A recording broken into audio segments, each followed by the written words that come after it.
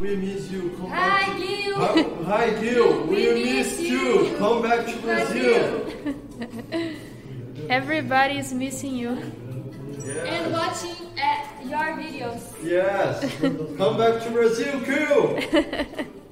Saudade, Gil!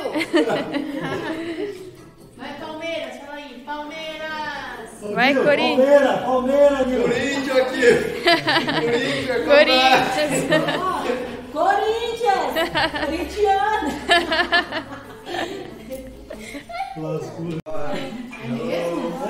Aí, gente, a família que vocês estavam perguntando.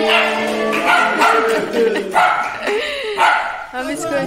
Tem, ó, aqui, ó, a A Mari. Mari, As coisas ficou mais bonitas. Ô, Mari, a ele ficou mais bonito. é, a Laura, eu já tá no outro, já Tá no outro. Tá lá no outro, tá lá no outro. né? É, gente. Aí, ó. Gil. É. Perderinho nosso.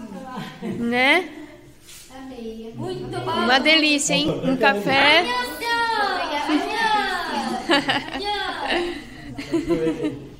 Pega teu M. Vamos teu M. Café coca.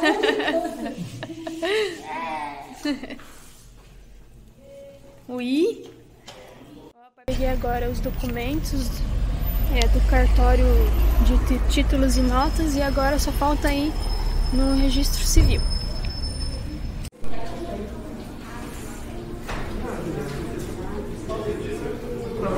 Oi, gente.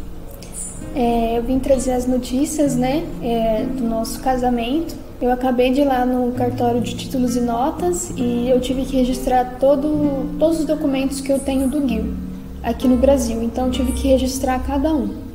Ah, já registraram, né, e eu tive que retirar eles hoje. Aí depois eu fui no cartório é, do casamento, né? E aí eles vão analisar de novo para ver se eles fizeram o registro dos documentos corretamente. Então são mais dias para analisarem. E aí depois de toda essa análise, eu vou poder agendar um dia para eu assinar, porque só falta eu, né? E já tem a procuração, então o Gil já assinou tudo, todos os papéis presença de duas, testemunhas no dia.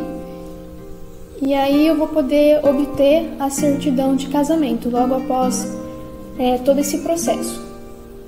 Obtendo a certidão de casamento, é, eu vou poder entrar com um processo na Polícia, na polícia Federal para o Gil é, tirar o visto dele permanente. Acho que vai demorar alguns meses, né? Acho que acredito que uns três meses para tudo dar certo. Vocês perguntaram, né, como que foi é, na depois da despedida, né, do, do meu esposo. Foi é, bem difícil para mim.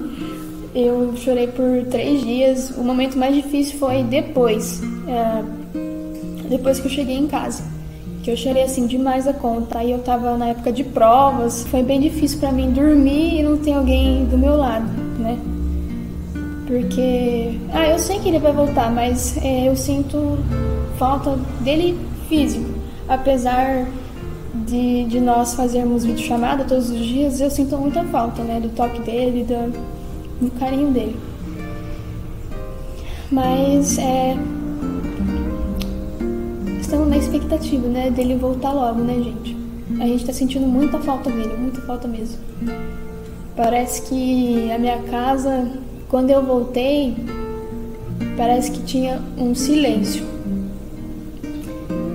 Parece que ficou um silêncio.